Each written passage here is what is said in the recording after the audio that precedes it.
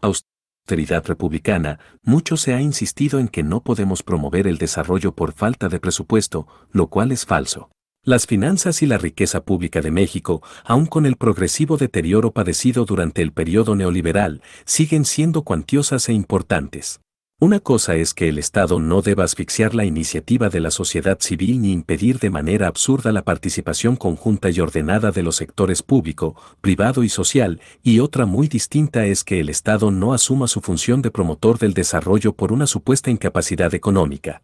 El problema es la corrupción, no la debilidad de las finanzas públicas. En 2017, como vimos, el presupuesto autorizado por la Cámara de Diputados fue de 4.9 billones de pesos, es decir, corresponde a 13 mil pesos mensuales por familia, aproximadamente. Sin embargo, en nuestro país, una gran cantidad del presupuesto no se destina a promover el desarrollo ni el bienestar social, sino a facilitar el saqueo o traslado de bienes de la nación a particulares, nacionales o extranjeros. El presupuesto se utiliza para mantener una onerosa estructura burocrática al servicio de la mafia del poder. Por eso sostengo que la austeridad no solo es un asunto administrativo sino de principios. Los gobernantes, como decía el presidente Juárez, no pueden disponer de las rentas sin responsabilidad, no pueden gobernar a impulsos de una voluntad caprichosa, sino con sujeción a las leyes, no pueden improvisar fortunas ni entregarse al ocio y a la disipación, sino consagrarse asiduamente al trabajo, resignándose a vivir en la honrada medianía que proporciona la retribución que la ley ha señalado, y, agrego, no debe haber gobierno rico con pueblo pobre. La aplicación de una política de austeridad nos permitirá, junto con el combate a la corrupción, contar con presupuesto suficiente para promover el desarrollo y garantizar el bienestar de todos. Con esta estrategia no habrá necesidad de aumentar impuestos en términos reales ni de crear nuevas contribuciones y tampoco se caería en déficit o en el financiamiento del desarrollo con deuda pública. El presupuesto aprobado para 2017 fue de 4.9 billones, de ese monto, el gasto no programable ascendió a 1.338.000 millones, 27%, y el gasto programable a 3.550.000 millones de pesos, 73%. El gasto no programable se integra, básicamente, por dos rubros, el pago de intereses de la deuda pública, que absorbe el 43%, y las participaciones de recursos a entidades federativas que representan el 55%. Estos dos ramos no suman el 100% porque hay un pequeño porcentaje registrado como adeudos de ejercicios fiscales anteriores que implica alrededor de 2%. Por su parte, el gasto programable se compone de gasto corriente, que consume el 84% y el llamado gasto de inversión, al que se destina el 16%. Nuestro plan de ahorro y reasignación presupuestal implica liberar del gasto no programable 5 mil millones del costo financiero de la deuda.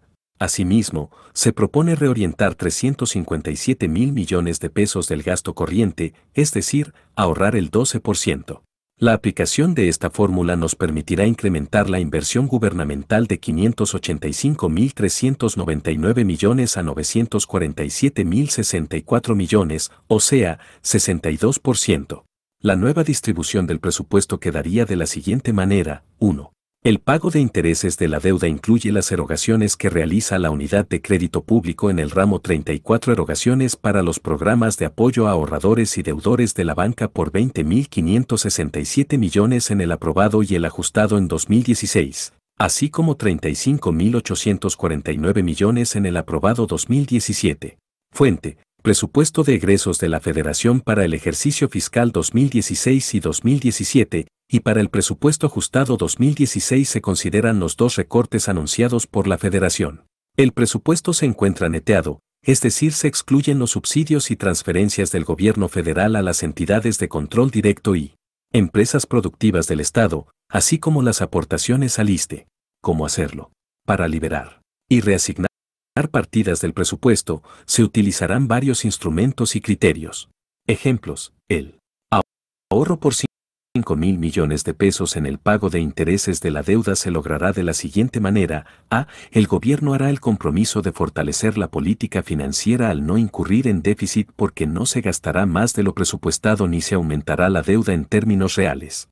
B. La confianza en la seguridad de las inversiones y su respectivo rendimiento generará un mejor ambiente para obtener mejores condiciones en el refinanciamiento y la disminución del pago de intereses. C. La reducción que proponemos es bastante conservadora, en el entendido de que, al mes de septiembre de 2016, la deuda pública neta del sector público presupuestario fue de 9 billones 211 mil millones de pesos y consumirá cerca de 480 mil millones por concepto de intereses, comisiones y gastos de la deuda al cierre del año. En el plan oficial de 2017 se destinan a este rubro 568 mil millones de pesos. D. Se procurará que en todo el proceso de reestructuración de la deuda federal el Banco de México participe lo más activamente posible en su papel de agente financiero y asesor del gobierno federal. E. Esta institución siempre será consultada para evitar que las inversiones públicas y otros factores como los incrementos salariales desaten la inflación. En cuanto a la reducción del gasto corriente, la propuesta consiste en ahorrar del capítulo 1000, denominado Servicios Personales, cuyo monto asciende a 1.164.000 millones, el 11%, o sea 132.000 millones. La mayor parte del dinero de este capítulo del presupuesto se destina al pago de sueldos y a otras percepciones ordinarias y extraordinarias. En la actualidad no existe claridad sobre el ingreso real recibido por los funcionarios públicos, es decir, se oculta la entrega de bonos y pagos extraordinarios de distinta índole, de modo que lo primero será transparentar el costo de cada plaza en el gobierno federal, en cumplimiento con lo establecido. En el artículo 127 constitucional. De todas maneras, aun sin incluir otros gastos, en 2017 la plantilla de personal disponible comprende 1, 766, 191 servidores públicos y representaba una erogación anual de 740.043 millones de pesos, 64% del costo total del capítulo de servicios personales. El ahorro que proponemos significa reducir a la mitad los sueldos de los altos funcionarios públicos, aquellos que ganan más de un millón de pesos anuales. Se trata de una disminución progresiva y proporcional de jefe de departamento hacia arriba. La escala progresiva significa que los recortes serán moderados en niveles de mandos medios e irán aumentando conforme se incrementan los sueldos. Por ejemplo, el presidente, los secretarios, diputados, senadores, magistrados y ministros de la Corte, que reciben más de 220 mil pesos mensuales, obtendrán 110 mil como sueldo neto, y nadie ganará más de esa cantidad. Partimos del criterio de que los altos funcionarios públicos en nuestro país ganan demasiado, o dicho de otra forma, los sueldos en el gobierno están inflados en los niveles altos. La burocracia dorada en nuestro país se distingue por ser la que más gana en el mundo, por consumir la mayor cantidad de presupuesto y por devengar sueldos superiores a los recibidos por los empleados del sector privado. En 2016 en el gobierno estadounidense solo el presidente Barack Obama ganaba más que los altos funcionarios públicos de México, pero los ministros de la Suprema Corte, los consejeros de la Judicatura y el presidente del Tribunal Electoral de nuestro país tenían percepciones mayores que las de los presidentes o primeros ministros de Canadá, Alemania, Suecia, Reino Unido, Japón, Sudáfrica, Chile, Brasil o Italia. 1. En 2016, el ministro presidente de la Suprema Corte de Justicia de la Federación, los consejeros de la Judicatura y el presidente del Tribunal Electoral del Poder Judicial de la Federación tenían las mismas remuneraciones.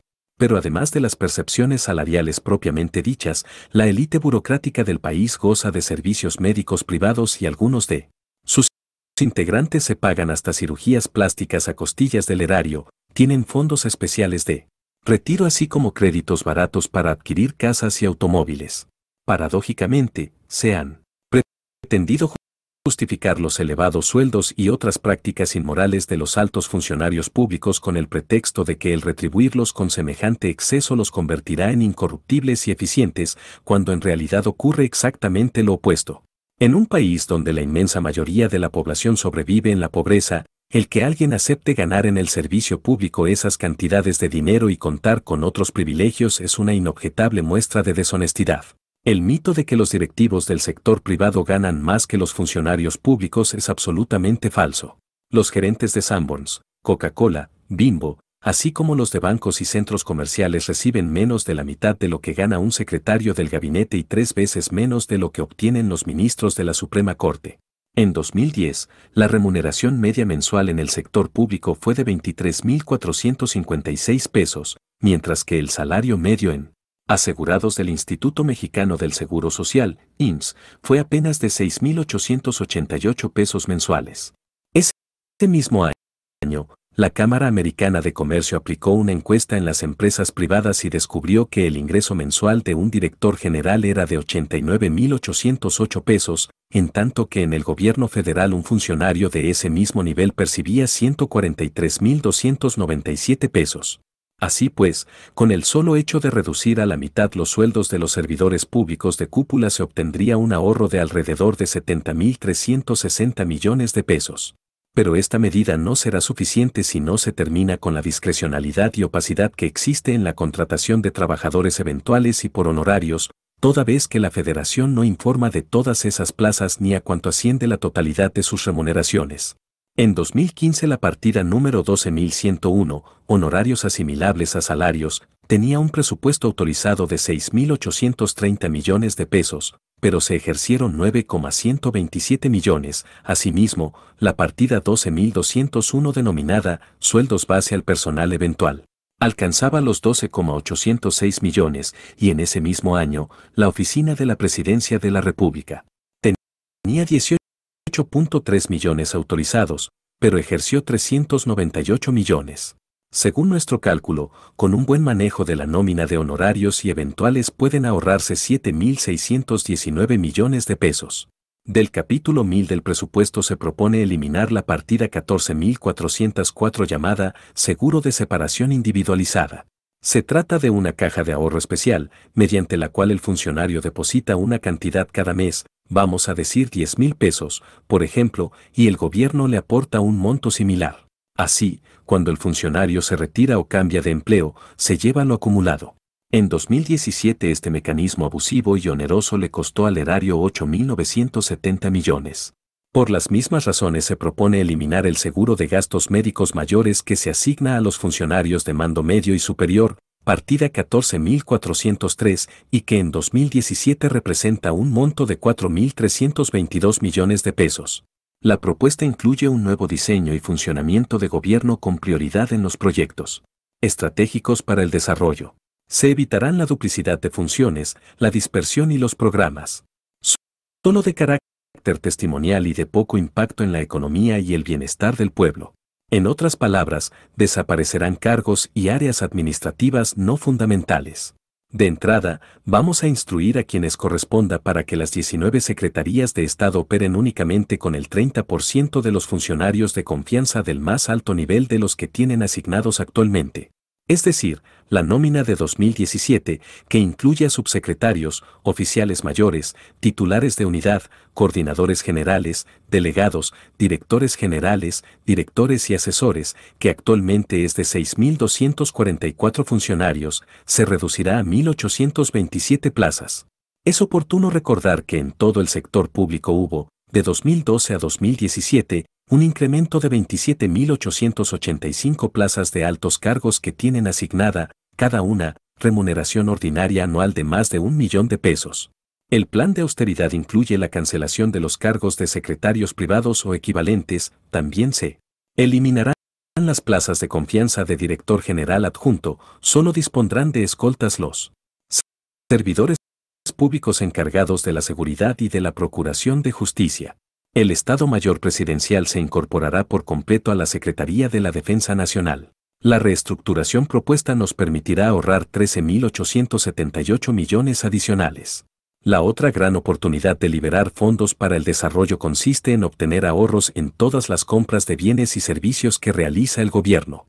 En febrero de 2012, la Organización para la Cooperación y el Desarrollo Económico, OCDE, aseguró que si el gobierno de México mejorara sus procesos de compra podría ahorrar 120 mil millones de pesos.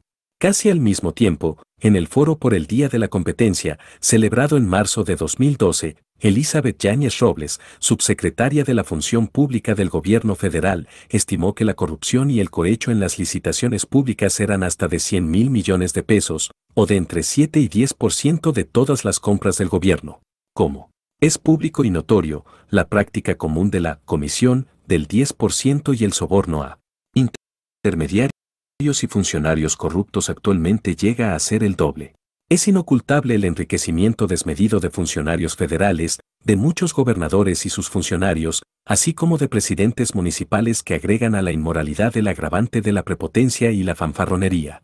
En nuestro país se habla mucho, como una forma de desahogo, sobre las mordidas de los agentes de tránsito, la participación de policías en grupos delincuenciales, los sobornos en las ventanillas, el uso indebido de espacios públicos por el comercio informal o la renta de lugares para estacionamiento por parte de los llamados viene, viene y otros casos que molestan mucho a los ciudadanos.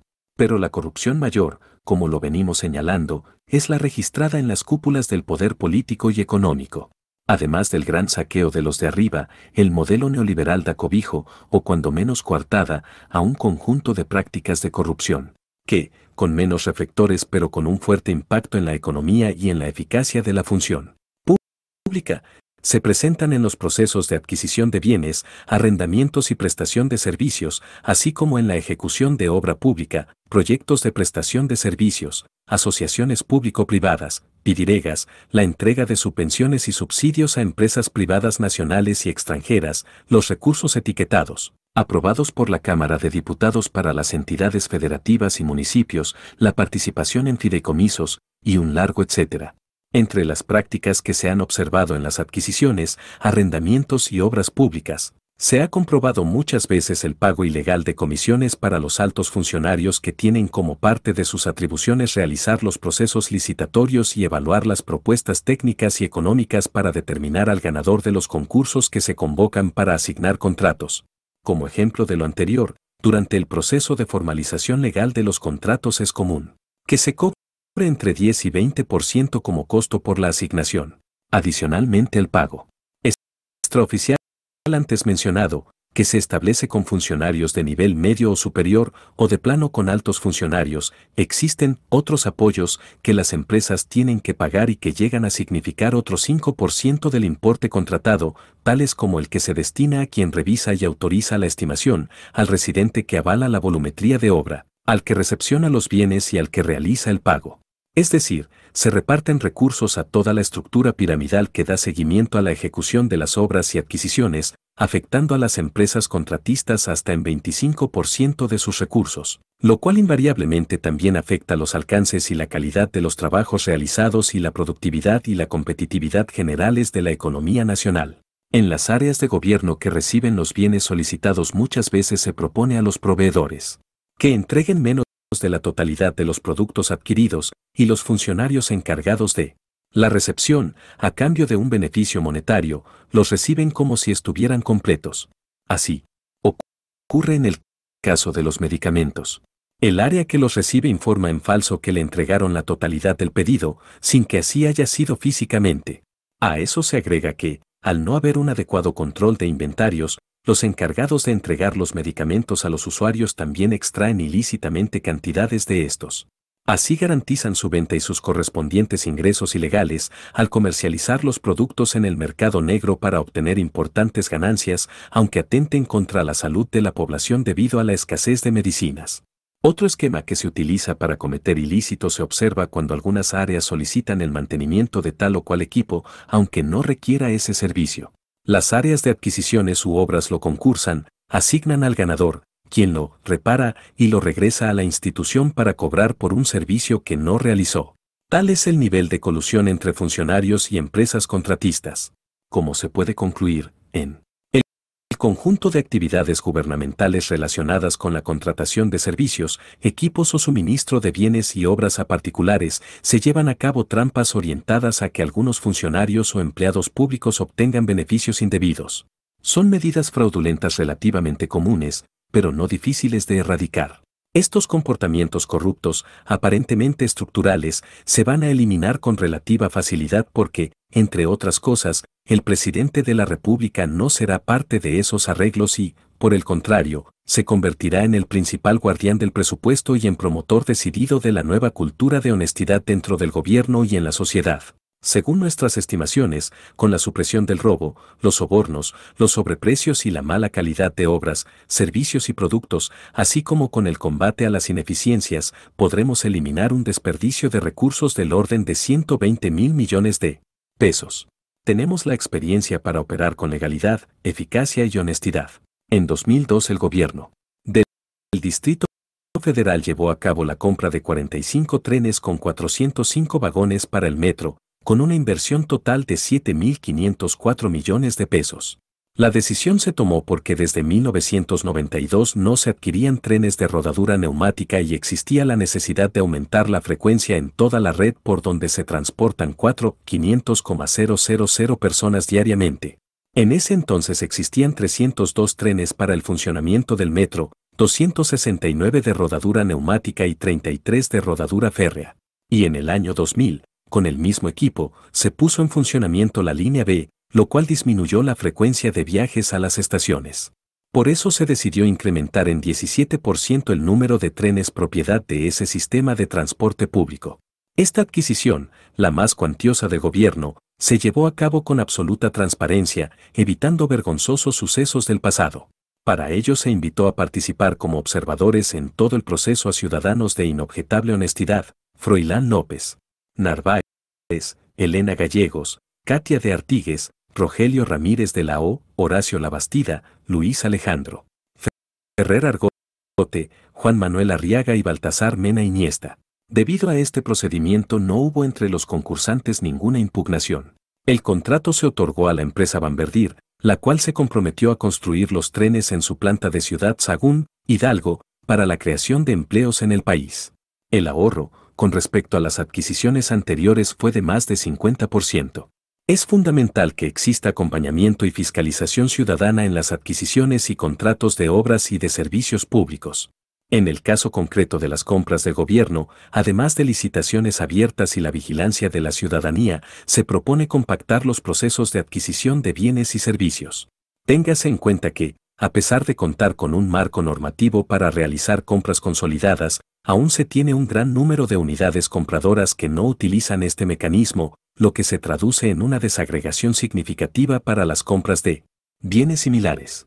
Así, al menos 20% de las compras que realiza cada una de las agencias federales son de bienes y servicios de uso generalizado, que van desde medicamentos, combustibles, papelería, artículos de oficinas, consumibles y equipos informáticos, herramientas menores, prendas de protección, llantas, uniformes, vestuario, fotocopiado, vales de fin de año, entre otros.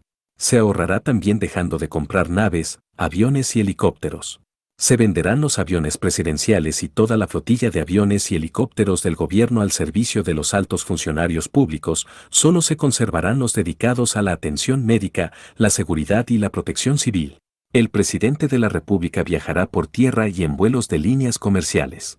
Durante el gobierno de Calderón y en lo que va del de Peña Nieto, se han adquirido aviones, helicópteros y naves para el Ejército, la Marina y la Procuraduría General de la República por alrededor de 85 mil millones de pesos. Han sido tan sonados los casos de estas adquisiciones, que el gobierno de Francia, con el interés de vender una flotilla de helicópteros para las Fuerzas Armadas de México, invitó a Peña Nieto y al secretario de la Defensa al desfile militar con motivo del aniversario de la toma de la Bastilla. Añado que este gobierno, además del avión presidencial de 7.500 millones de pesos, compró aeronaves de lujo para uso exclusivo del secretario de la Defensa y del exprocurador Murillo Karam, con valor de 1.500 millones de pesos cada una. Por lo demás, se eliminarán erogaciones superfluas y habrá ajustes en gastos de operación y publicidad, rentas, oficinas, remodelaciones, difusión, viajes, sistemas de comunicación y cómputo.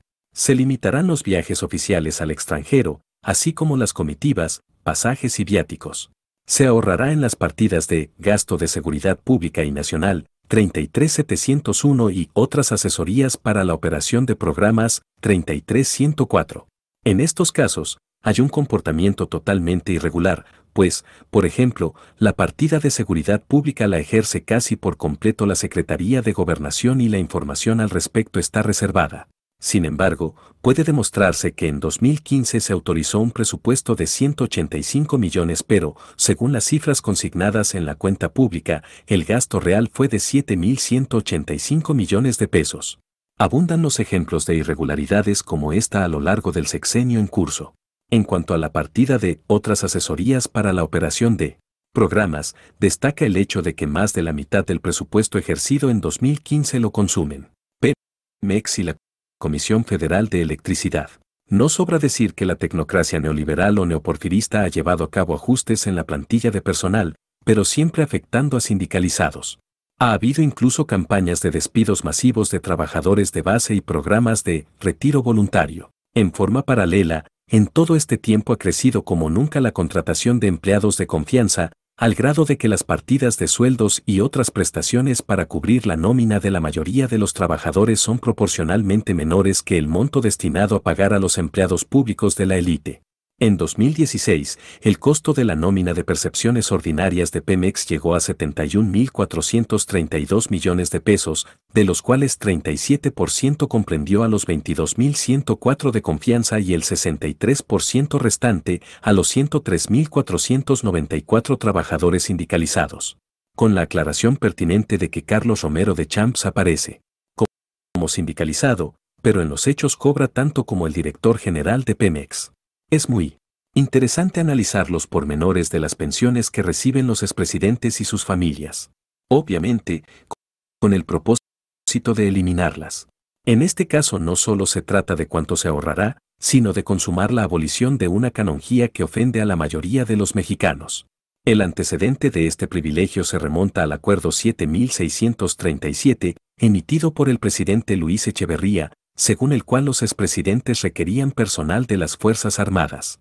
Desde entonces, sin razones o motivos de fondo, se decidió asignarles el siguiente personal. Posteriormente, el presidente Miguel de la Madrid emitió el Acuerdo 2763 bis, para agregar a las 78 plazas del personal militar otras 25 de personal civil y una pensión vitalicia equivalente a las remuneraciones de un secretario de Estado, que se incrementa en la misma temporalidad y proporción, además de los beneficios de seguro de vida y gastos médicos mayores. De igual forma, en el acuerdo de Miguel de la Madrid se considera una pensión para las viudas de los expresidentes, equivalente al 80% del sueldo de un secretario de Estado durante el primer año a partir de la muerte del cónyuge, que se irá reduciendo en 10% anual durante los siguientes años hasta llegar al 50%. Las viudas, por esta disposición, también gozarán de seguros de vida y gastos médicos mayores por un monto equivalente a 60% en términos netos de la suma asegurada que correspondería al titular de estas prestaciones. Los hijos de los expresidentes también disfrutarán de un seguro de gastos médicos mayores hasta que cumplan la mayoría de edad. Sumando todas las canonjías de los expresidentes y sus viudas se llega a un monto estimado de 244 millones de pesos, como se aprecia a continuación, en el libro Los parásitos del poder se señala que, adicionalmente, los expresidentes gozan de otro tipo de beneficios, como el pago mensual de los servicios telefónicos nacionales, de telefonía móvil y larga distancia, derecho a un automóvil para él, otro para su esposa, uno para sus hijos y tres automóviles para sus escoltas, pago de tenencia, verificación y gastos de mantenimiento de los automóviles. También se les cubren los servicios públicos domiciliarios para sus residencias, además del predial y servicios de jardinería, luz y limpieza, sin olvidar los bonos, los cuales no se han cuantificado. En el caso de Luis Echeverría, el acuerdo no fue firmado por él sino por los secretarios de Marina y Defensa, y en el de Miguel de Madrid por el de Programación y Presupuesto. El pretendido sustento legal de tales acuerdos a la fracción y del artículo 89 constitucional, la cual no faculta al presidente de la República para que pueda conferir estos beneficios a los expresidentes. Se violó así el principio de legalidad que establece que la autoridad solamente puede hacer lo que expresamente le confiere la ley. Por otra parte, es curioso que ninguno de estos acuerdos fueron publicados en el diario oficial de la Federación, por lo que nunca surtieron efectos legales ni fue obligatoria su observancia. No hay razones ni argumentos jurídicos para mantener la vigencia de los acuerdos porque carecen de cualquier sustento constitucional. Por consiguiente, se deben suprimir los privilegios otorgados con base en tales disposiciones. En el decreto de presupuesto de egresos de la Federación correspondiente al ejercicio 2017, artículo 19, fracción 4, párrafo 4 se establece que el ramo administrativo 02 Oficina de la Presidencia de la República, a que se refiere el anexo 1, inciso B, de este decreto, Incluye los recursos para cubrir las compensaciones de quienes han desempeñado el cargo de titular del Ejecutivo Federal o, a falta de este, a quien en términos de las disposiciones aplicables sea su beneficiario, las que no podrán exceder el monto que se cubra al primer nivel salarial del puesto de secretario de Estado, así como aquellas correspondientes al personal de apoyo que tengan asignado, de conformidad con las disposiciones aplicables y con sujeción a los términos de este artículo. Asimismo, incluye los recursos que se asignan a la compensación que se otorga al personal militar del Estado Mayor Presidencial. Las remuneraciones del personal civil de apoyo deberán reportarse en los informes trimestrales y serán públicas en los términos de la legislación. En materia de transparencia y acceso a la información pública gubernamental. Pero aunque haya sido aprobado por la Cámara de Diputados, se considera que el pago de esas prerrogativas a los exmandatarios no tiene, hay que repetirlo, ninguna base constitucional. A continuación se presenta el cuadro que cuantifica los montos que se pagarán en 2017 tanto a los expresidentes como a sus viudas, conforme a los acuerdos mencionados de Luis Echeverría y Miguel de la Madrid. Es pertinente decir que los expresidentes Carlos Salinas y Ernesto Cedillo supuestamente renunciaron a su pensión, pero no al resto de los beneficios que obviamente representan una suma mayor. Aquí es importante añadir que según el periodista Álvaro Delgado, de la revista Proceso, el 30 de noviembre de 2012, último día de su gobierno, Felipe Calderón reformó el reglamento del Estado Mayor Presidencial para mantener él y su familia el mismo número de elementos de ese cuerpo militar que tuvo a su servicio, e inclusive disponer de más personal si lo requiriera. Textualmente. Se estableció los expresidentes de la República mantendrán el mismo número de elementos del Estado Mayor Presidencial que tuvieran asignados para su seguridad y la de su familia con antelación a la entrada en vigor del presente decreto. Lo anterior sin perjuicio de solicitar la autorización a que se refiere la fracción 9 del artículo 11 del reglamento. Esta última fracción dispone que el expresidente y su familia pueden requerir todavía más militares para su protección en lo que fue la última decisión que tomó antes de entregar el poder a Enrique Peña Nieto, Calderón también modificó el reglamento del Estado Mayor Presidencial para garantizarse atención médica gratuita para él y los miembros de su familia en el centro hospitalario de ese cuerpo militar. Y todavía más, la reforma de Calderón obligó al Estado Mayor Presidencial a planear, organizar, proporcionar y controlar los servicios para garantizar la seguridad inmediata de los expresidentes de la República y su familia realizando los análisis de riesgo correspondientes con el fin de proponer la asignación de efectivos y demás medios de seguridad para cada caso en particular. En el artículo anteriormente señalado, se refiere que Calderón tenía ya 425 elementos a su cargo. Esto quiere decir que con la entrada en vigor del citado decreto ha podido seguir contando con ese personal.